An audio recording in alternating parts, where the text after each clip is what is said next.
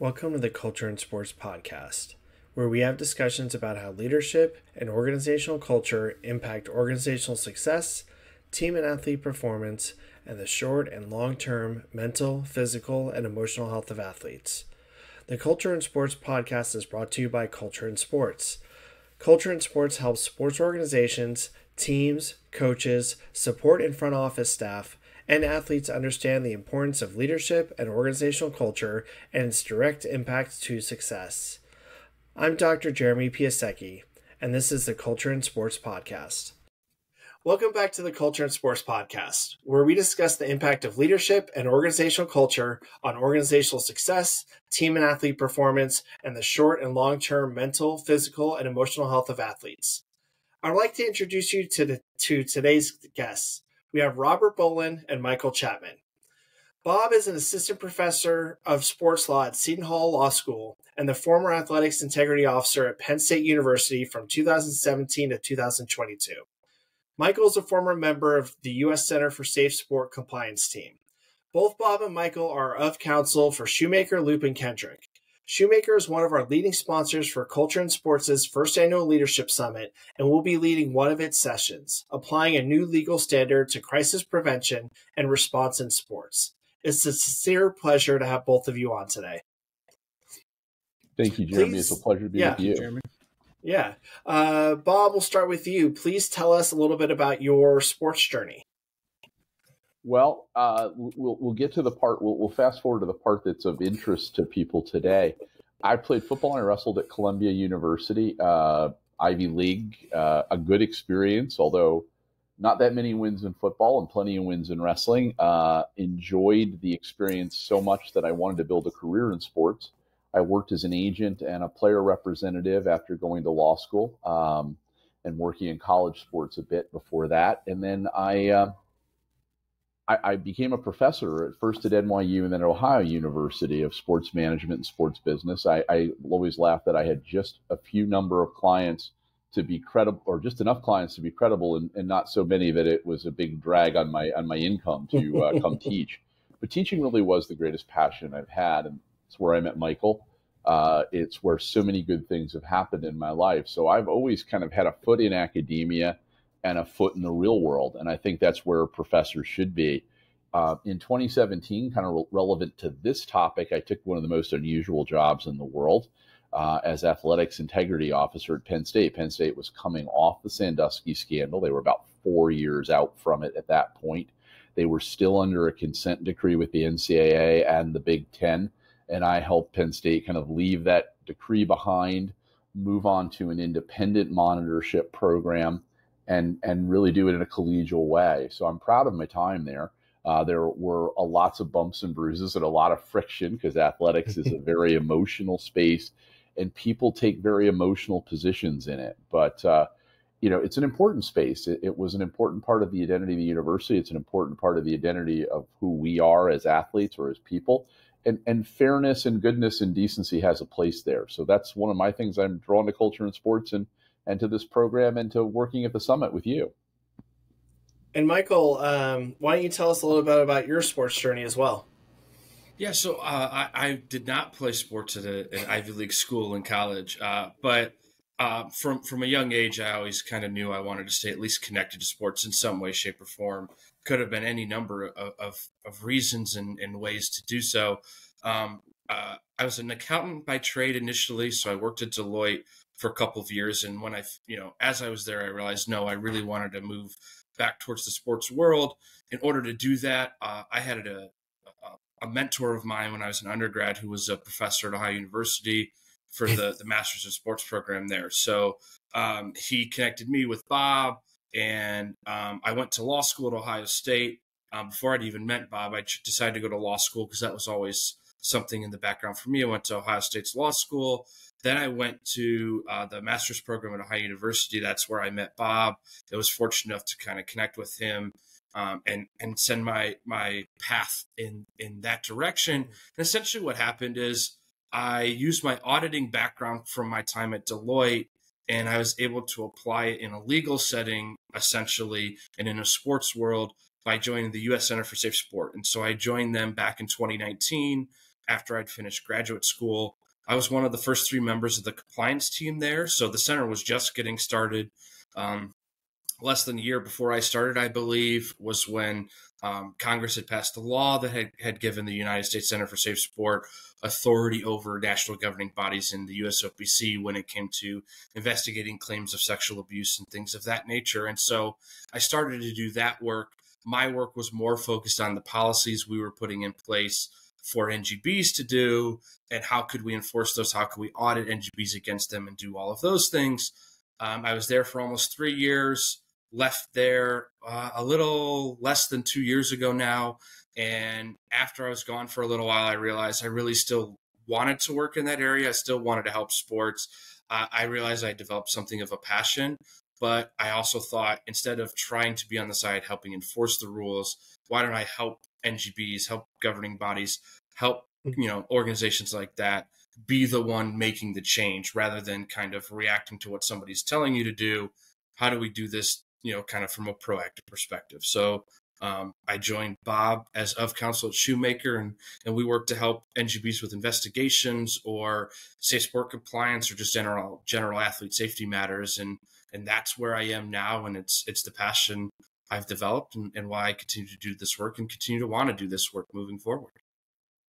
So, Michael, you were just talking about uh, U.S. Center for Safe Sport, and you joined still in its infancy. Uh, can you please share how Safe Sport grew over time and what your role was in that growth?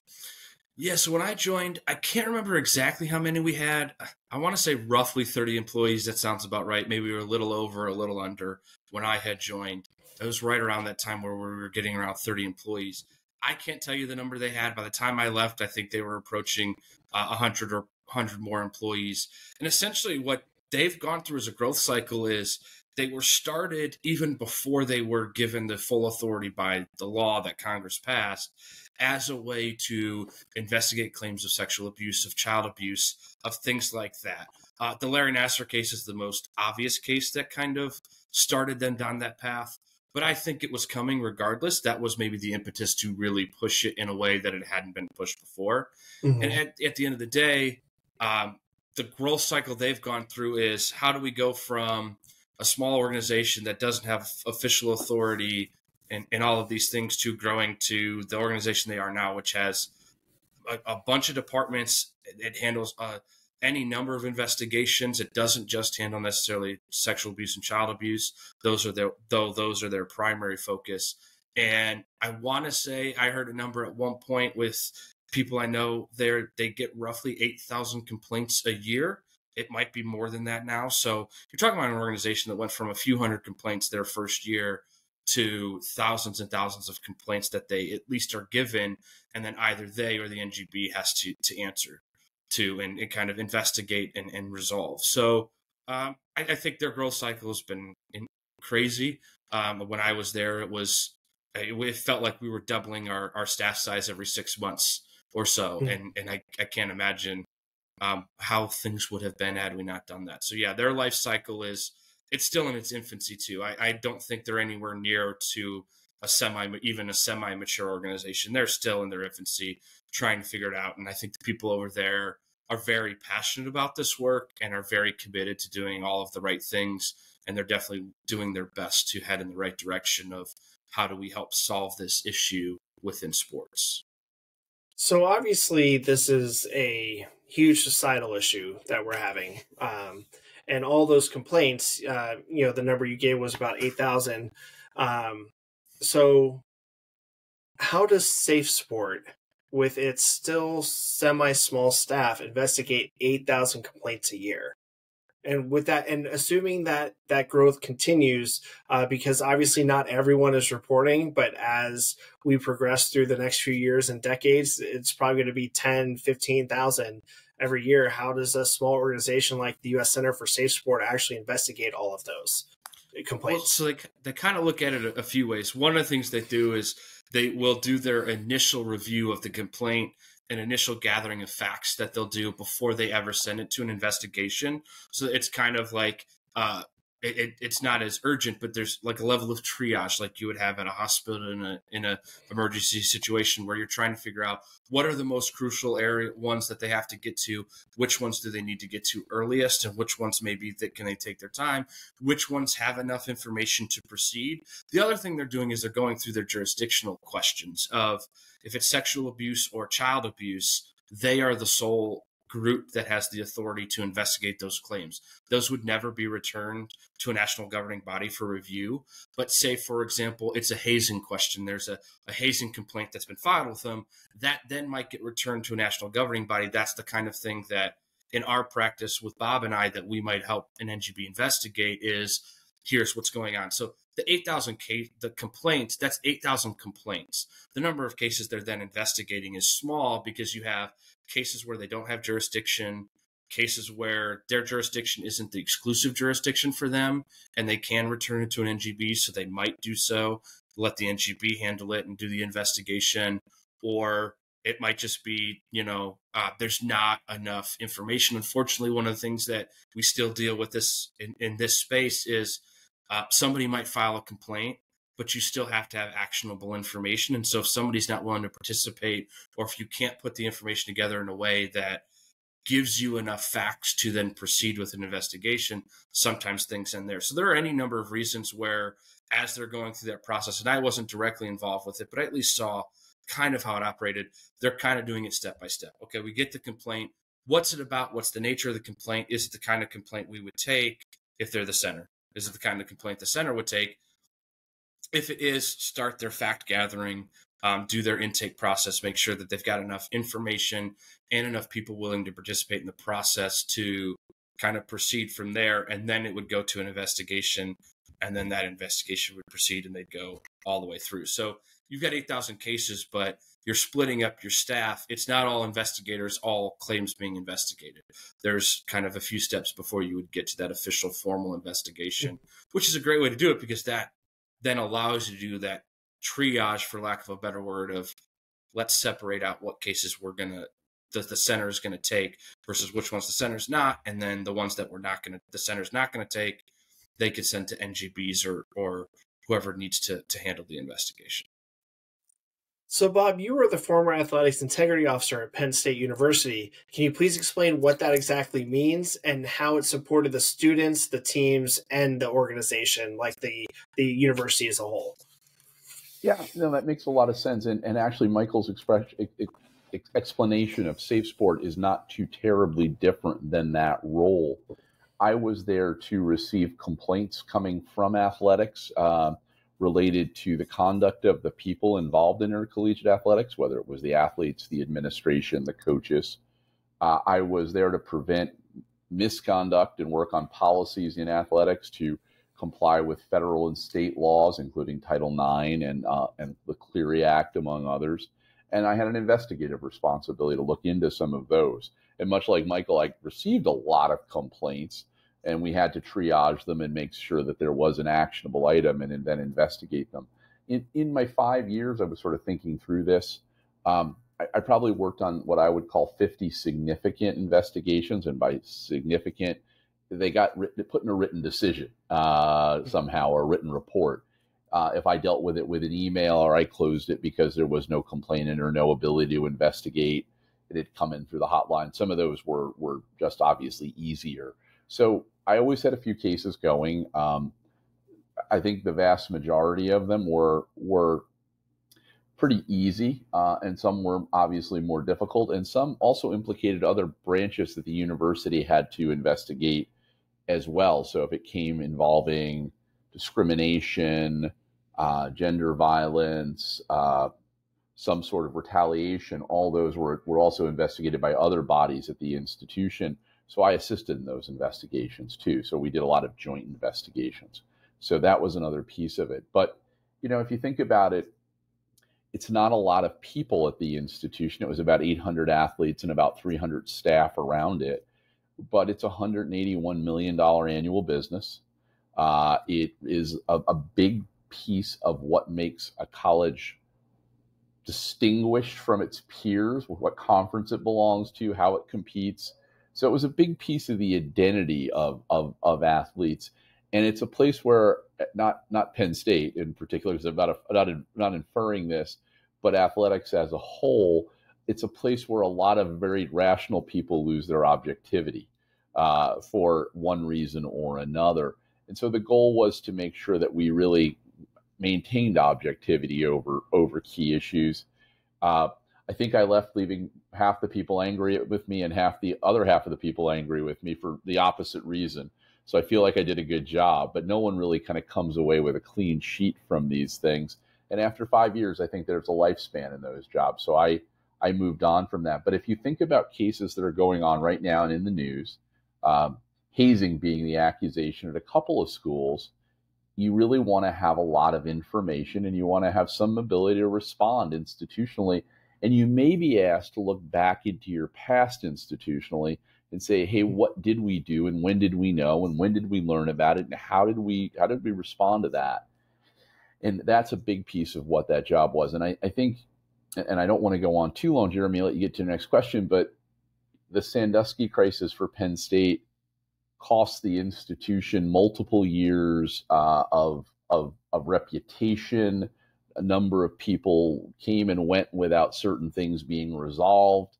Uh, and and and I mean that, but time passed in that job. But Penn State really came together very well and opened itself up in the Freeh report and and tried to set processes in place that they minimize the harm. Still, with not even including human toll, about a three hundred and fifty million dollar crisis uh, from ten years ago. If you think about Baylor and their Title IX situation, somewhere north of 500 million. Michigan State with Nassar around a billion when we get done with it, probably, and then some doctor cases at Ohio State and Michigan in the 500 million dollar range, and it's a really significant thing. And also as a, uh, and, and again, I hate to hate to kind of keep going back to another thing, but as a public not for profit, the way you treat people is the only thing you really can can judge yourself on you know if you if a large company you know starts a fire or has an oil spill they can do remediation in other places. Uh, they can mm-hmm. clean up other coastlines. They can do other things. You know you really can't in a not-for-profit university which are large businesses now you really can't just plant some trees and make it better. You have to actually help the people. So i was very proud to have that job and i'm very proud of the work that michael and i do at Shumaker trying to, to both make change and to make the human toll a little bit lighter in the in the process for the, the, the organizations involved. So let me ask you both a question. If I was an athlete uh, at any level and I filed a complaint uh, but I didn't give enough information, whether it's the U.S. Center of Safe, Safe Sport, whether it was you as the athletics integrity officer, or even with both of you conducting investigations uh, in your roles at Shumaker. Um, but I didn't give you enough information as the athlete because I was afraid of retaliation.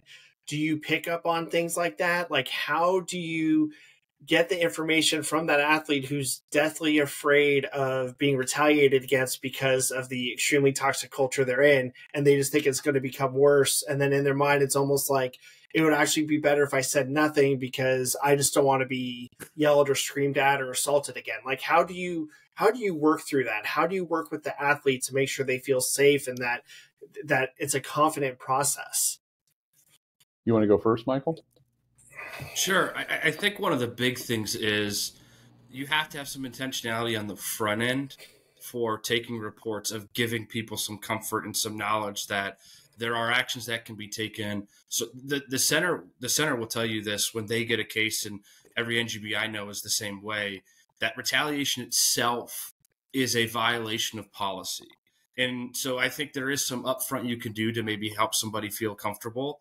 The other thing I think that you, you kind of have to do is you have to help that person understand that uh, if they're coming forward with a complaint and it's something that has been there and something that needs to be addressed and maybe it's lingered for five ten years maybe it's something that's been kind of underneath that nobody's ever reported are you setting up future generations to deal with the same thing and is that mm-hmm. something that you really want to deal with because i think that's one of the impetuses for a lot of you know a, a, an impetus for somebody to come forward is I want my situation to be better, but I also don't want anybody else to deal with what I'm dealing with. And so if you can provide them some comfort in the front end of we have retaliation policies, if they do that, that in and of itself is a violation. We can protect you, we can help you, we can take action just on that if we have to.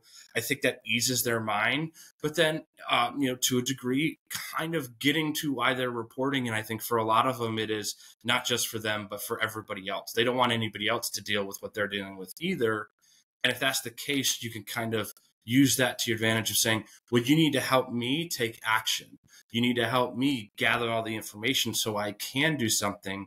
Because if you if you're not willing to help me, then we're just going to let this linger. It'll linger for another five years until somebody comes forward. So I think you can do both of those, but I'm sure Bob's got other things that you can do and other actions you can take to kind of encourage participation in that standpoint. Yeah, I think I think the, the, the most courageous act is the person who stands up both for themselves but also for those around them. Uh, and, and even though there is maybe the possibility there is some flack in, in return for that, I, I think you always have to really respect that. And that's why non-retaliation policies are really the first principle of all compliance programs and all all all chances for us to get to our best ethics. But let's let's talk about some nuts and bolts that even are effective out there, and I think everybody needs to think about right now you probably need to have an anonymous reporting hotline system that allows you to reach back out through the, that that system to the complainant. So uh, whether that that's the, uh, the equivalent of you know a knothole in a tree where you leave notes for each other in uh, in an electronic format, or whether it allows you to get more information. I think you certainly have to have that ability. I, I think that's a mandatory one. And even though a lot of people don't like hotlines because they produce they produce non-responsive and non and non non-investigable complaints a fair amount. They also help you become aware of things maybe earlier than you would before they become a really bad problem, and that's really important. I think just knowing about situations will give you some ability to help cure them. Uh, that was certainly in a true in, in, a, in an institutional setting. So if you're aware or hearing allegations of hazing, or some other misconduct, you can always stress what that means to the to the participants um, and, and, and explain that to the coaches and others that this isn't something that's going to be allowed. I, I think most coaches want to do the right thing. Most administrators get into this field because they want to do the right thing. They passionately love the sports that, that they do. And sometimes they don't understand the seriousness of what's going on or, or how things have changed since they were athletes. So this mm-hmm. is a mm-hmm. chance also for education too. Uh, you know, maybe the maybe the first compliance program after after having an anonymous reporting system and a non-retaliation policy, kind of one A, one B, and one C, is having an educational program. The best compliance program mm-hmm. is an educational one. So I do think that that's another piece of it as we look at it. Uh, I think you're going to want to be able to carry things through and be realistic with complainants too. You want to tell them that you may not be able to to, to, to decide this on the time schedule they wanted to to make other decisions. That was something I took into account and told people in the process. You try to get to what's right and you try to get to it on the time that you can get to it. So it's important to do it. We get better every time one of these investigations is announced. We get better when when we share this information with each other and get to being best practice we get worse when we kick stuff under the refrigerator until and, and for it to fester and uh, that's kind of the, the, way i feel about this process it's an important one but it's an important one in making our sports better mm-hmm. no those, those are go ahead sorry no just jumping off of that real quick something bob said kind of hit me with this too is handling previous investigations in a in a competent manner I think helps also encourage others to come forward. And I think that's part of what you're seeing with the center. Part of the reason the center's caseload and the number of complaints that they've gotten has drastically increased. I think it's in part due not not that everybody loves them or they think they always get it right, but I think people are seeing that the center takes it seriously and is committed to trying to get it right every time. And when mm-hmm. you see that effort, you see that time being put in, I think it's a lot easier to convince somebody after they see that in other cases on campus or within a governing body or whatever the case may be to then go okay now i'm encouraged to participate more and it mm-hmm. might not be it's not something you could do after somebody kind of comes with a complaint now but if you're doing that every step of the way two three four five years in you're go- i think you're going to see a difference in participation in part because the trust has been built just because they've seen you from the outside and observed you handling your business in in, a, in an effective manner. So Jeremy, I, am going to jump in one more time, Jeremy, and, and to say one of the things that draws me to culture in sports and your mission and the mission of culture in sports is not all of this has to be adversarial either. Right. Sometimes we're looking, sometimes we end up talking past each other in the process. So a really good resolution process takes in the idea that we can sometimes agree to find middle ground and common ground and to make things better. So I don't want to forget that that shameless plug about the great work culture in sports does in trying to focus attention on, hey, this is my perception, but maybe the reality is in the middle a bit. No, thank you for sharing that. Um, I did want to bring up something that both of you talked about, and you both talked about regulations and laws concerning retaliation in a toxic culture with toxic and abusive leaders, I already see Bob and Michael smiling with my question because they know what it is. So you have toxic leaders, toxic cultures, uh, and some of them are abusive. They already know they shouldn't be doing what they're doing, but they're doing it anyways. What's going to stop them from actually retaliating against that athlete or another coach who files the complaint originally? What's going to stop that retaliation? And then what is the incentive for the the athlete or another coach to file a complaint if they know it's just going to come back them and they're going to be retaliated against? Or even we, worse than before? If we think about history it's always the cover up and not the crime. Mm-hmm. so the, the idea that retaliation always provides fresh and often actionable evidence is usually the thing that makes it so good to be able to deal with we may never decide if you were a good employee or a bad employee, your job performance was up to snuff or it wasn't. But if you're retaliated against shortly after participating in an investigation, or if your work assignment is changed because you you, you made a report, those are pretty easy and a lot more objective at times. So mm-hmm. I don't want to say that retaliation is easier, but it certainly is often fresher and and easier to show with with with some certainty in the process. Kind of on that point too because you're so more focused on it you already know the, the, the players involved and so it's easier to get the information you need right away. And sometimes the best thing that you can get and you can get this out of retaliation is an immediate pause by maybe there's a temporary suspension maybe there are temporary actions you can take which you might not have been able to on the original claim because there's no way to gather information quickly. Retaliation gives you a way to kind of dig your teeth into that claim, do it quickly, reach some resolution that provides then the time and information and kind of the impetus for people to continue to participate in the larger investigation that you might have ongoing. So it's it's almost like I don't know if you can truly prevent it, but sometimes the person retaliating against you gives the investigator what they need to take at least one action and then to proceed to get others to involve too. I also think what most people would maybe not expect, but I think you would see in cases like that is if you see retaliation, if like I'm a player who I've never been the person that felt like I was being harassed or abused by the coach, I, I don't know why you reported it, but now I see that retaliation. It might trigger my mind. I got to think about it again. And so now I'm willing to come forward and support the, the, the my fellow player a little bit more because I go, well, the retaliation, if you didn't do anything wrong, there would have been no reason for retaliation. Now I have a reason to think about your behavior towards that person. I'm going to participate in this case. So it's kind of a, when you see more bad being done, it might trigger a good person to come forward and say, I'm participating let's make sure you have all the information you need. So it's it's not preventing the retaliation, but it's using the retaliation to proceed with the larger investigation, and the larger evaluation that you definitely need to do in those scenarios.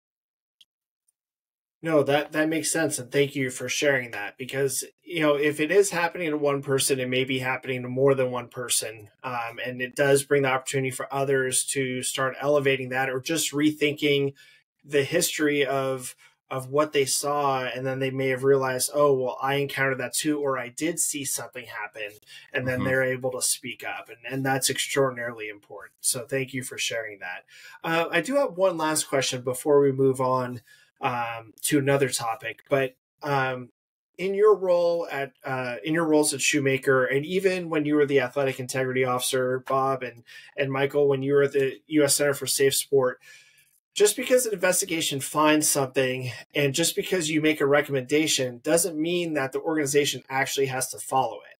So so uh, what are some things that you see and that you've worked through over time with these organizations to compel them to say no you actually need to address this because you know the damage to athletes or the damage to just people will be so critical and if you won't listen to that it will cost you x millions of dollars to fix it like how do you compel organizations to to make the proposed changes I, I, probably say just that that if you don't fix this, it's going to cost you X millions of dollars, uh, or or you know almost a billion. Uh, I, I, do think the price of, of not correcting is is significant, and I do think that gets people's attention at times. Um, organizations tend to want to minimize; they want to go on, they want to accept business as usual.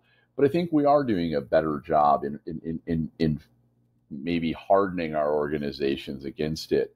Uh, maybe the prevalence of so many reports of misconducts, whether it's from pro teams, pro leagues, uh, investigative reports commissioned by leagues, the fact they become public, I think, is really important. Uh, because even if even if you don't agree with everything that is made public, even if it may not all be true, or it may be it may be shades of truth in the public report, it does create a corrected state that the public can look to and it resets our tolerance. And I think that's an important piece of it.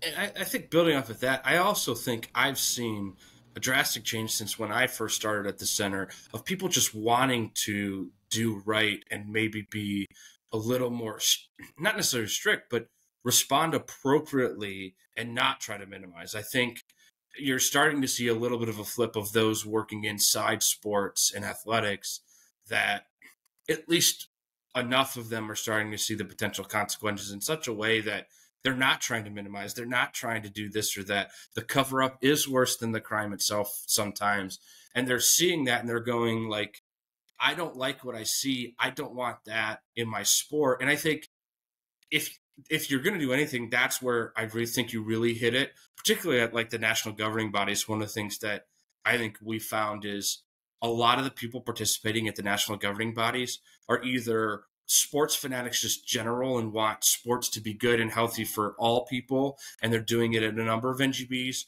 or I've also worked at NGBs where the people are working in a very specific sport because it's where they have a passion and they don't want their sport to be ruined. And you can kind of use that as your impetus of like, what would happen if this continued or this happened five more times? Like, what would happen to your sport? Is it going to be harder to grow? Is it going to be harder to get people to participate? And they see that and they go, Ooh, it would be. If I want what's best for my sport, that includes at times having to be the hammer that comes down on people because they're committing violations and doing things poorly. Jeremy, Michael, and you both both pointed to this in the last question, and it, and it seems to be an important one for us to kind of just at least kind of highlight for a second. I think when when when we, they're not really bystanders, but other stakeholders step up mm-hmm. and say something is wrong.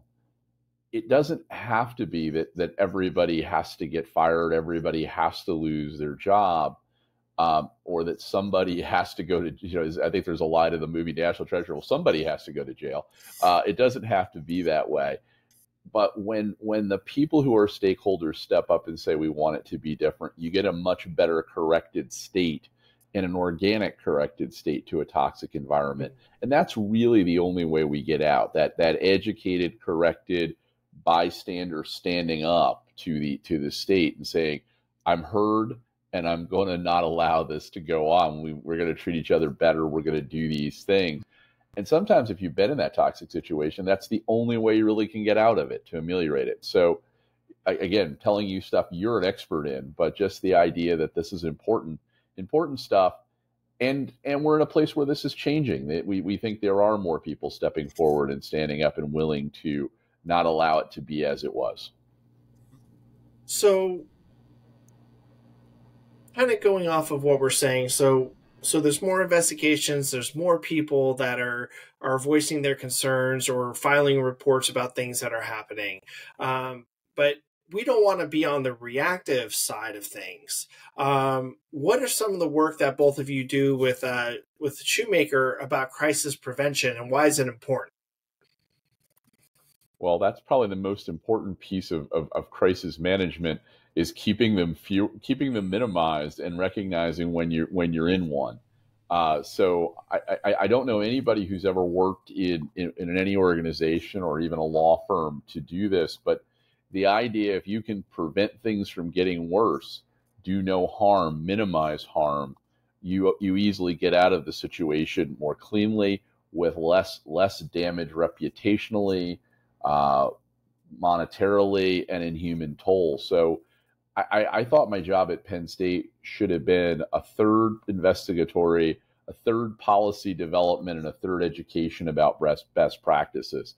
The, the the math never quite works out, but I think anybody who's in the role that we've set up, we now have clients that we advise and we talk to them about their policies. We shape their policies, we shape their process. You know, mo- most most NGBs have learned coaching theory They've learned uh, they've learned how people respond to work and to rest and to nutrition. They haven't talked a lot about substantive due process as part of what they do or, or how a hearing should go. This is a place where we think we can advise and help also prepare them. And pardon a football metaphor from an old offensive lineman, how we can help them identify the unblocked blitzer, the thing that they're not necessarily accounting for, but that's coming because it's coming in other places. We're trying to have a broad view of the field. We're trying to have situations and be able to help everybody adjust their defenses to that. Um, you know, hazing is one of those things that we're hearing a lot about right now. And every state, or almost every state, has a hazing law. Almost every athletic situation has some measure of conduct that, about about joining teams. Now, a lot of hazing laws don't apply to athletic teams because it's the coach who makes the decision, not the players, and the coaches aren't involved. But it's one that every organization needs greater insight into to avoid that practice. And sometimes even even kind of you know acceptance and initiation is often thought of as just a rite of passage that's fun, and we understand we'd have to tell people that's not that. You have to be exceptionally careful in those circumstances, and because it's just not good. It doesn't doesn't make you better. It doesn't make you a better athlete. It doesn't make you a better team member. Protecting your young players, taking care of them, making them live up to the standard of the team is always an important piece of it. Kind of off of that too, with the prevention, I'll give you a piece because I think the center does really good in, in, a very specific area. They've set a policy that applies kind of across the board to all these NGBs, and there's a there's a standard they set, and I think the idea behind it is if you can catch the little things up front, sometimes they don't become the big things, right? The the actions that are taken that are maybe grooming behaviors or behaviors that are setting up for future abuse. And if you can prevent those or stop those and identify the first behaviors because they're violations, you can you can kind of maybe then catch it before it gets going too fast, before the train gets down the tracks. And one of them that the center has is if you're communicating with a minor who's not your child, or you have, you know, there are some restrictions on this, but generally speaking, coaches, team administrators, adults in the sport, in any sport, should not, not be communicating with minors one on one. Somebody else should have access to that communication, whether it's a parent, a fellow coach on the team, anybody that kind of can be a fellow adult and kind of help monitor the conversation, just prevent the one on one communication. Well, that's a policy. Then, if you start to violate that, it's an indication of potential like you're starting to groom somebody, you're trying to develop this relationship and head it in a path that is not good and will lead to abuse. So, we're not preventing the texting, but we're preventing the abuse, which is, I, I would think we'd all agree, is the more important behavior to prevent and we're preventing the abuse by potentially identifying the upfront behavior that would lead to abuse uh, down the line. And those are those best practices and things are still being figured out and still being worked on. And the center regularly does does work and research into what are the best practices here and how should we do that. And I think Bob and I have a pretty good background on, on helping organizations do the same for theirs, which is how to identify the behaviors that should be unacceptable in themselves because they're indicative of future future even worse behaviors and worse violations that we can hopefully cut off by catching catching the smaller thing up front. Because I think that's a big piece of it. If you're going to try to prevent it, you're not trying to prevent any violations, in my opinion. And you could. You don't. Education hopefully helps reduce all the violations, but you're not going to be able to get rid of all of them. But if you can catch the smaller ones, you can prevent the bigger ones. And so it's kind of like a cycle of educating and preventing and using small violations to prevent big ones. We hopefully we can reduce the number of major violations as we move forward it, it also sets you it also sets up as you see minor violations on how you can set defenses in education to help you out too mm-hmm. uh, sports betting was one of the things that came up and i learned a lot by looking at looking at how bets were made and learning about it it's helped me we worked with a group that helped us tailor our our educational efforts and our response efforts uh, we avoided a crisis knock on wood but the other nice part about it is i wouldn't have even known how to avoid the crisis if i hadn't had that information so an important important place for us to learn more and to tailor our response uh, to to the small stuff. It's not the absence of mistakes. It's not the absence of violations. It's really the response to them. Now, um, you're talking about a lot of pre-education, uh, helping organizations identify not necessarily shortfalls, but you know the way that they're messaging or the way that they're conducting business. Is when you're working with organizations, are you also working with athletes to say, hey, like this is acceptable behavior, this is not acceptable behavior, or or do you recommend that uh, national governing bodies or professional sports teams or or you know colleges, universities provide that training on their own? We're prepared to offer some of that training at Shumaker. We think that's an important piece for us. Uh, Oftentimes, though, we're working with the national governing body or the institution to provide that training. One of the pieces I think is a really important piece for any university we'd be talking to is do you have a code of conduct for your athletes? Do you ha- is it aspirational? Does it provide a guide to, to help you? If you don't have one, should you have one? And, and, and how should we help you write that and prepare that? So I think we're prepared to help these organizations ocu- operate in this space on a variety of levels, but in a holistic way. Uh, and yeah, I think the athletes are are the most important piece in this the constituency, and one we often overlook in talking to and talking to on their level. To that, yeah, now, you, ha- you, have to speak to them on their level. I, I think it, it's very easy for depending on the the way someone is raised, right? So we're all coming from different backgrounds. The way I was raised, certain behaviors behaviors I would not have thought of as harassment or hazing or something like that when I was growing up because it was just they're just coaching you hard, get over it. That means they like you, that means they think you could do well. And to some degree that might be true, but we've also learned that no, sometimes they're just being jerks and they're actually harassing you and mistreating you and doing things like that. And helping doing some training up front to help them see what kind of where those lines really maybe should be. And everybody might draw their own lines, but drawing distinctions on no, this is clearly harassment or abuse this is just hard coaching and helping the athletes see that.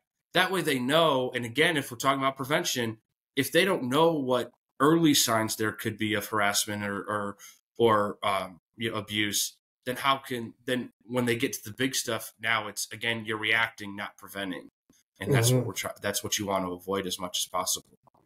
So, Bob, Michael already brought this up, and it was actually on my list of questions to ask. Is how do you think a coach's values and beliefs influence their coaching and and the team environment as a whole? Wow, that's a that's a tough question to entirely answer. Um, I, would say I'd say they they they're hugely important uh, in this way. You can't put in you can't put into an environment an ethical structure, a system of fairness, a system of caring that's not in the individuals in it. Um, a head coach has to express it, they have to speak to it. We, we call that in the compliance space the tone at the top. Uh, but I think there has to be some some essential moral code. Now there are a million approaches inside that. Uh, I've seen very, very, very moral, capable coaches who can be stern. I've seen very warm coaches who can do that I've seen athletes respond one better to a stern coach than to a more lenient coach. I've seen some some respond better to a more lenient one who who who, who takes away the distance. So I think the approach the approach isn't as important as the underlying contract that I'm here for you, that my success is your success, your success is my success, and I'm here to help you be the best you can be. And there may be times I speak to the displeasure of your performance or, or my thinking that you can do things better. I'm not really ever talking to my displeasure of you. No, that that's a that, that's a great way to answer that. You know, between both of you, uh, you bringing up Michael and your answer there, Bob. Like, I think that definitely uh, speaks volumes to people, and I really hope they they ponder on that for a little bit. Okay, so changing gears here. Uh, both of you are going to be involved in Culture in Sports' first annual leadership summit on the 24th of October. Uh, Shumaker is leading this session, applying a new legal standard to crisis prevention and response in sports. Can you explain a little bit more about what you're going to talk about and, and why people should listen? Well, if you've gotten to this point in the podcast, you've heard everything we're going to talk about. we're going to talk about how the how the world has changed in sports and how sports organizations need to change with them. How we can build a better, more moral, more ethical, and productive sport organization, and ultimately how the law is going to judge these organizations, whether it's an organization like Safe Sport or it's possibly the NCAA or it's courts but also stakeholders and constituents, parents and athletes. So yeah, we everything we've talked about to here has led us to that. And that's why we want we're so excited to be involved. We want to be on the cutting edge and shape this for our clients, but also shape it for the other people who are good and care about this space. So this uh, panel that you that you're both leading, you're not sitting there pointing fingers and saying, "Oh, you're bad as an organization. You're toxic. You're abusive." It's um, uh, is this more educational? Is this more prohibitive? Or is this more of just helping organizations and even individuals start, whether it's an internal discussion or a discussion amongst peers about a, a possible direction they may want to go in the future? We'd be pretty toxic if we pointed fingers, right? if you look at the panelists too, and I, I, think you'll see, I think anyone who comes that day will see a, a, wide variety of expertise from our panelists and a number of people who have very good backgrounds on how do you work within that culture and how do you use your legal standards, whether it's the policies you're writing internally or the law to help shape. And, and I think when Bob and I were talking about, one of the things we talked about specifically was we didn't want the focus just to be on the response piece the how do you do the investigation how do you handle that? Because prevention is so important and becoming more so every day. Uh, that's one of the things we're learning in this space i think all the time is that prevention is so important. And you know we want to help people understand okay if we're trying to do prevention what in my sport or in my organization is the the flaw or the thing that i need to focus on and how can i write a policy or a standard that helps prevent abuse or prevent harassment or whatever the case may be in that area and how can i you know kind of tailor it? Because that's one of the important things too is no organization no two organizations are going to be the same and the policies are, are going to vary depending on the organization and they just inherently need to and if you do that then and if we can help organizations think through how they would do that and the best way to do it i think that's that's our goal with the panel i would i would argue all three of us teach and coach at some level. And at the end of every class, we get our class evaluations with some fear and trepidation. And and I've been very lucky. I've usually they usually have been pretty decent in my career. But the idea is you always want to respond to them, take in the truth of what they say. So I think one of the things we want to also talk about is what tools are already at people's disposal to be better, to to get things a little right, uh, a little more right in this process. And one of the things that I think Hortz and others are going to be taking advantage of is have you heard the athlete's voice? Are you surveying it? Are you responding to it?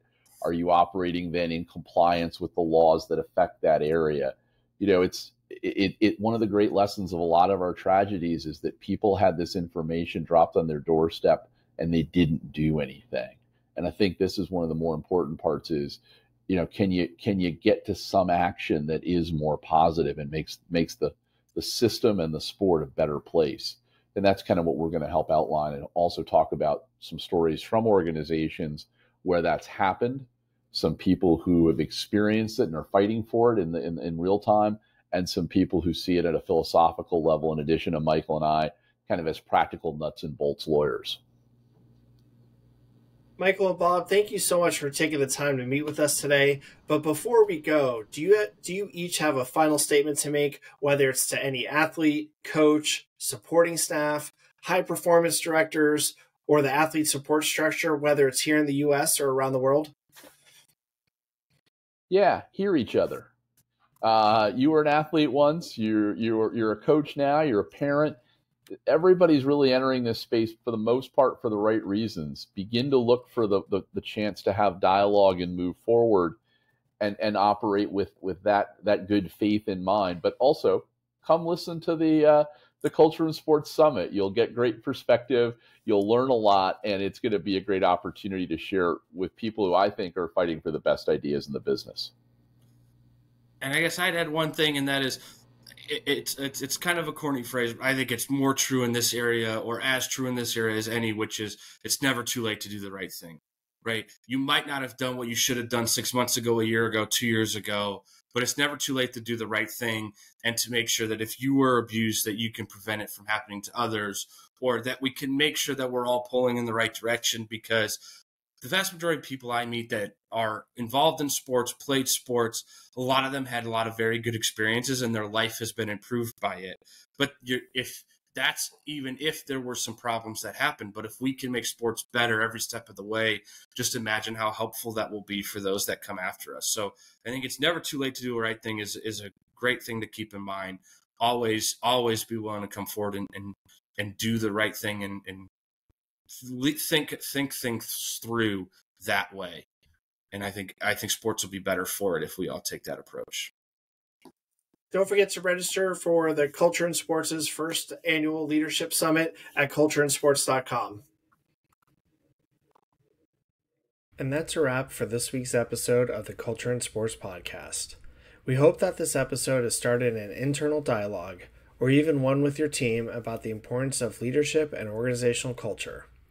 If you'd like to learn more about culture in sports, the Culture in Sports podcast, or other programs, go to cultureinsports.com, where there is a wealth of resources, articles, research, podcasts, video shows, webinars, and courses. And don't forget to connect with us on social media on Instagram, Facebook, TikTok, YouTube, and LinkedIn at Culture in Sports, and on Twitter at Culture in Sport. Thank you for tuning in to the Culture in Sports Podcast.